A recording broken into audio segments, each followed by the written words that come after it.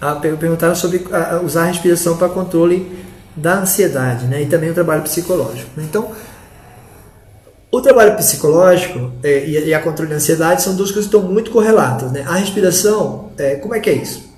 Quando você fica ansioso, a, sua frequência cardíaca normalmente aumenta, né? Isso é uma característica. Como aumenta a frequência cardíaca, a sua respiração tende a ficar mais rápida, né? E isso é, entra em colapso, acaba tendo um problema. Você não consegue ter uma troca gasosa correta e tudo mais. Então isso entra ansiedade, né?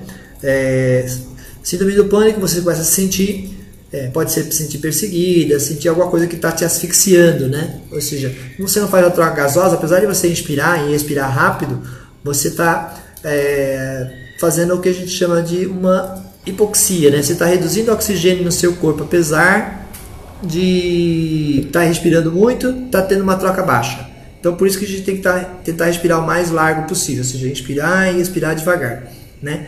A proporção é bem engraçada, né? Na inspiração, a gente sempre inspira mais do que expira. Isso é natural. Todo mundo é assim, tá? Você inspira e então, vamos dizer assim, duas partes e expira uma parte.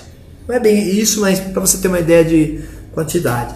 Então, o que, que nós tentamos no sistema é equilibrar isso, tentar inspirar em duas partes e expirar também em duas partes, né? Que o problema na maioria das vezes é a expiração, porque se eu não expiro corretamente, eu não consigo eliminar o, o, o ar que está dentro do meu corpo, esse, esse ar que está contaminado já, e aí eu não consigo fazer a troca gasosa, ou seja, quando eu inspirar outra vez, é, os alvéolos ainda estão ocupados.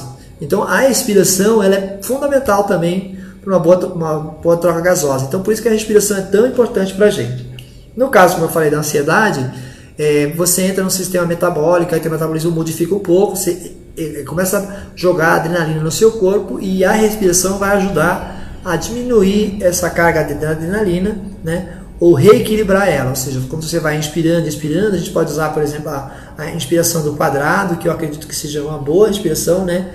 que é fazer uma contagem de 4, inspira, outra contagem de 4 segura, uma contagem de 4 expira e uma contagem de 4 seguras e assim continuamente, tá? Se você não conseguir, né, diminui um pouco, aumenta um pouco, você vai equilibrando isso. Mas a ideia é você tentar equilibrar a quantidade que você inspira com a quantidade que você expira, para estar tá reduzindo aí essa crise de, de ansiedade ou essa, é, ou essa síndrome do pânico vai te ajudar bastante, porque o problema é não é inspirar, é expirar. Né? A maioria das vezes acontece é, esse problema, tá? Então, por isso que é importante a respiração aí na, nessa questão. Claro que é, eu posso fazer isso sozinho em casa? Pode, pode. Mas é interessante você vir numa aula com o professor, ele te explicar mais ou menos o método, dar alguns exercícios para você, tá?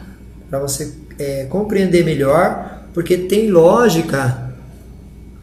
É, a questão de inspirar e expirar, você consegue, ah, ok, vou fazer assim, assado, mas é importante a parte de, de ter alguém orientando, nós precisamos sempre de alguém orientando para poder facilitar um pouco mais, tá? Então, por isso que é, a, a orientação é, é, imprescindível no começo, tá? Depois você consegue andar sozinho, igual andar de bicicleta, alguém precisa segurar um pouquinho você lá, ou você se apoiar para andar, e depois se você solta, você vai andar, tá? A respiração é assim. Teoricamente, todo, tem uma, algumas pessoas que dizem ninguém ensina ninguém a respirar. É verdade, a pessoa aprende sozinha, basicamente, mas você tem que auxiliar ela no começo, porque ela vai estar clauticando. Tá? Então, os respiração vão te ajudar nesse aspecto da, da, do controle de ansiedade e síndrome do pânico. Né? Você faz uma pseudoapneia, quando está muito ansioso. Né? E quando você está depressivo, aí você faz o contrário. Você inspira pouco e expira muito, e aí você faz o mesmo problema, tá? Esse é um processo da respiração.